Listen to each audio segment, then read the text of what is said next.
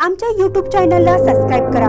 महानकारी news subscribe करा आणि notification on करा.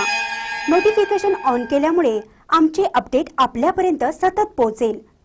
सांगलीत शिवतीर्थाच्या ढोलताशा सरावास उत्साहात प्रारंभ.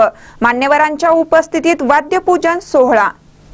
सांगली येथील शिवतीर्थ ढोलताशा पथकाच्या सरावास थाटात प्रारंभ झाला.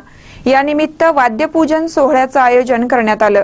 सांगलीच्या गावभागातील विष्णुघाट येथे शिवतीर्थ ढोलताशा पथकाच्या सरावास मान्यवरांच्या हस्ते वाद्यपूजन करून थाटात प्रारंभ झाला. सांगलीतील गावभागात दोन हजार तेरा साली स्थापन झालेल्या शिवतीर्थ ढोलताशा पथकाचं यंदाचं हे सहावं वर्ष सुमारे चाळीस मुलं मुली कलाकार असलेल्या या पथकानं आपल्या ढोल वादनानं अनेक रसिकांना मंत्रमुग्ध करत उंच भरारी घेतली आहे. दरवर्षी गणेश उत्सवाच्या निमित्तानं सांगली कोल्हापूर सातारा सोलापूर आदी जिल्ह्यातून ढोल वादनासाठी आमंत्रण येत असतं. अल्पावधीतच ढोल वादनाच्या प्रांतात शिवतीर्थ पथकानं आपलं वेगळं स्थान निर्माण केलं आहे. यंदाच्या सरावाचा प्रारंभ नुकताच मान्यवरांच्या हस्ते वाद्यपूजन करून करण्यात आला.